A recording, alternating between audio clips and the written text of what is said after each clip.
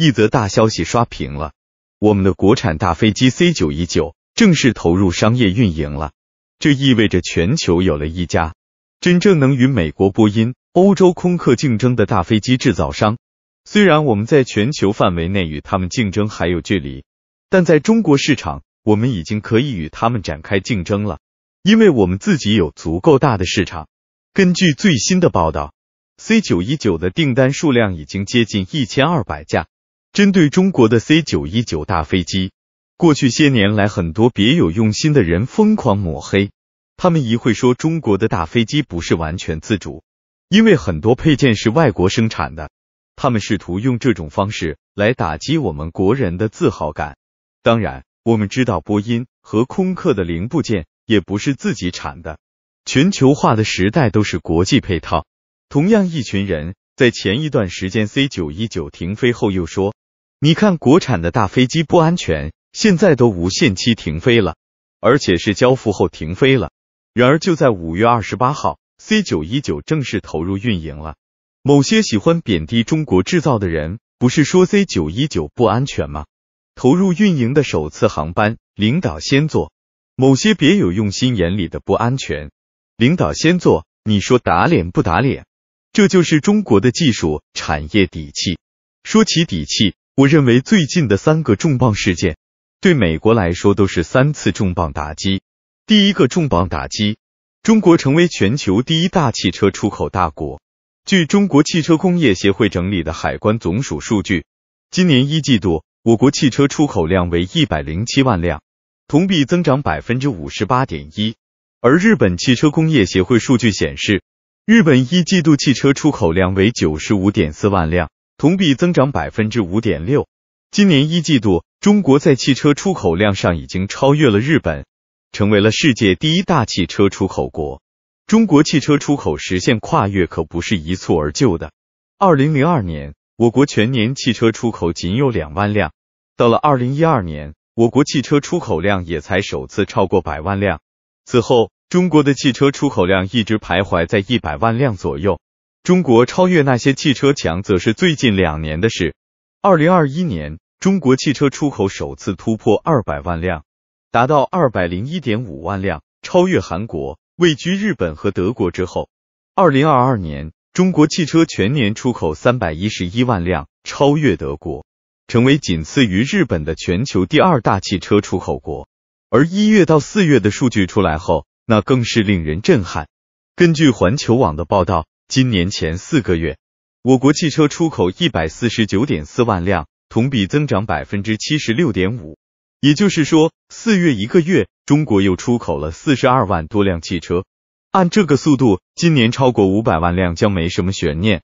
而日本却只有三百多万辆。中国汽车出口可不只是发展中国家。仅就一至四月的数据来看，我国汽车出口至全球二百零四个国家和地区。其中，向“一带一路”沿线国家出口一百三十六点四亿美元，增长一点二倍，占比百分之四十五点九；向发达经济体出口一百二十四点一亿美元，增长一点二倍，占比百分之四十一点八。新能源汽车贡献重要的增量，一月至四月，新能源汽车占汽车整体出口金额比重提升至百分之四十二点九。对汽车出口增长贡献率达百分之五十一点六，也就是说，中国汽车已经攻入了发达国家市场。而我们之所以在汽车行业实现弯道超车，根本原因是我们在新能源领域取得了突破，实现了全球领先。可能很多人会说，为啥说我们全球领先？因为我们掌握了产业，强如特斯拉，如果不是来中国建厂，也是很多年突破不了十万辆的产能大关。然而到了上海就是五十万辆产能起步。为什么特斯拉到了中国就化腐朽为神奇了？因为美国没有足够强大的电池等新能源汽车产业链。全球汽车市场是一个四万亿美元的超级大市场。试问，当中国入局成了全球第一之后，那岂不是一骑绝尘？当然，我们现在汽车国际市场主要还是中低端，但中低端市场被我们占领后。中高端还远吗？汽车市场是全球第一大产业市场，四万亿美元的市场规模，中国现在成了全球第一。那就意味着中国成了全球第一强的工业国，这是对美国来说可谓是最大的打击。第二个重磅打击，中国的大飞机投入商用。大型客机是全球工业顶端的明珠，它虽然没有汽车产业的规模那么大，但却在全球产业的最顶端。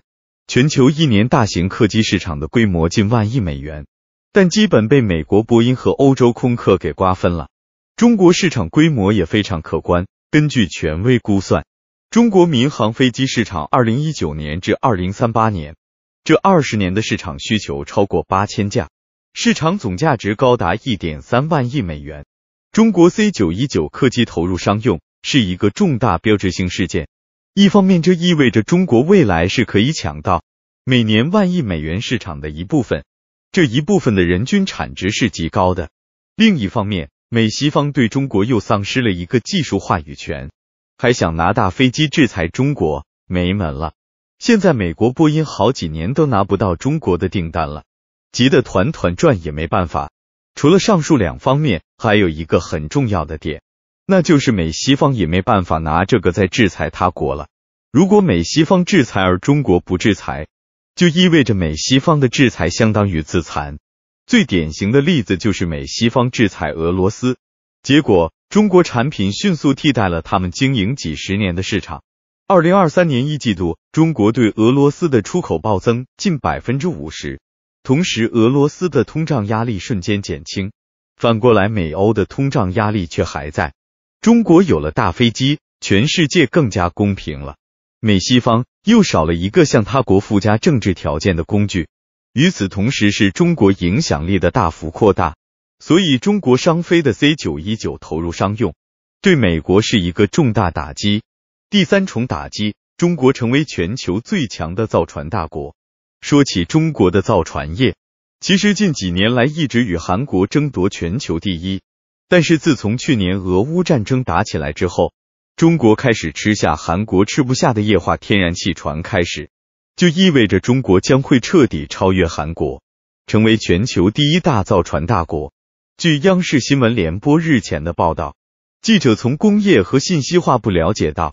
今年一季度，我国船舶工业运行企稳回升，多项指标居世界第一。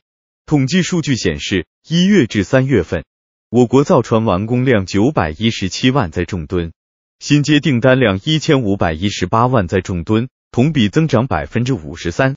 截至三月底，手持订单量一万一千四百五十二万载重吨，同比增长百分之十五点六。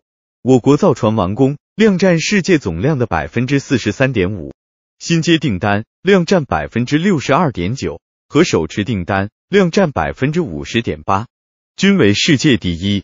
造船业发达意味着什么？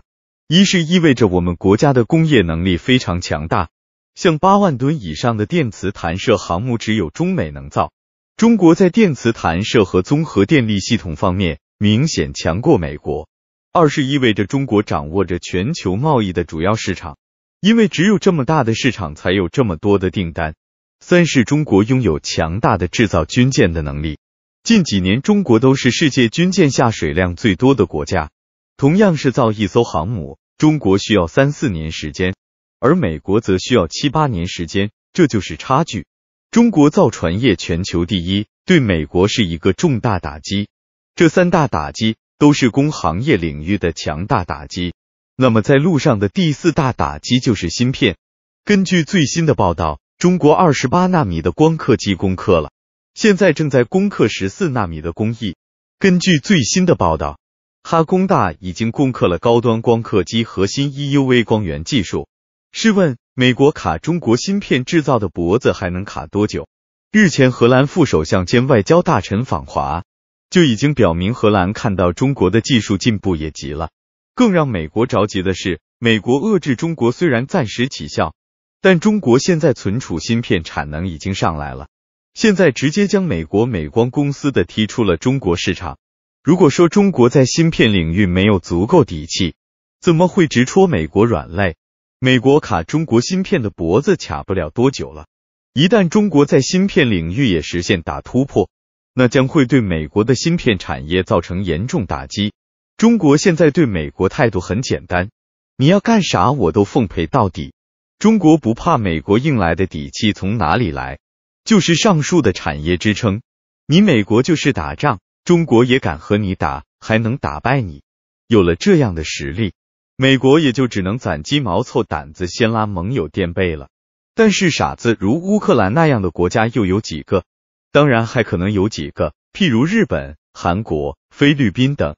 但这些宵小之辈根本不足虑，翻不起什么大浪。美国想打败中国，还是自己亲自上阵吧。